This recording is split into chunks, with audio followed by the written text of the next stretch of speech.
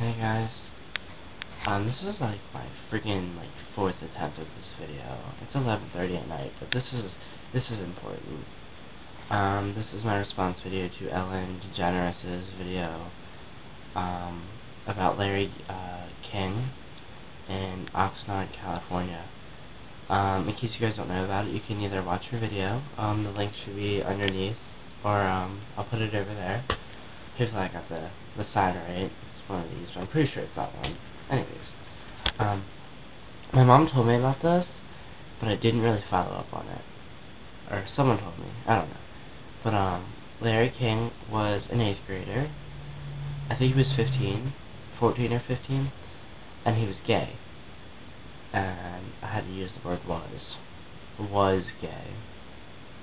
And, um, he asked someone, to, another boy, in his grade to be his Valentine, and a few days later, um, he killed Larry because he was gay. He still would be if he was alive, but he's not. And it's sad that 14 year old, a 14 year old boy killed, killed another boy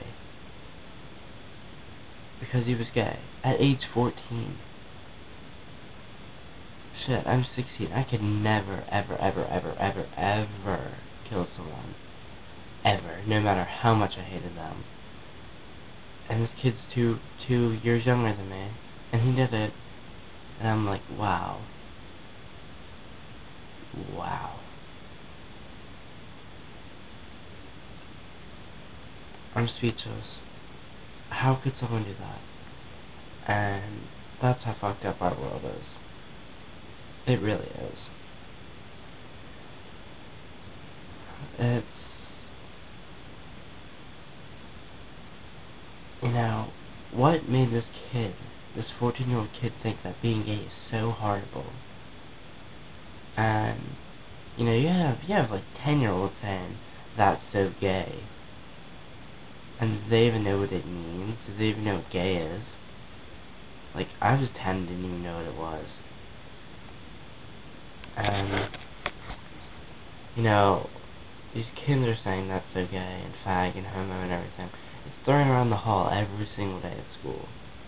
I mean, it's not like I can stop people from saying it, but I don't understand why. I really don't get what we say.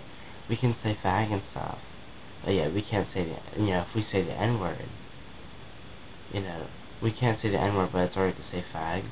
They're both horrible words. Neither of them should be said. Because they're both offensive. And I don't get it. And I hate that word. I hate the F word and I hate the N word. And it's ridiculous.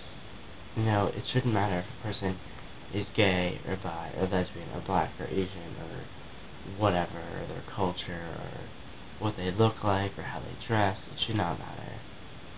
Because everyone is a person. Everyone has feelings and everyone has a value to them.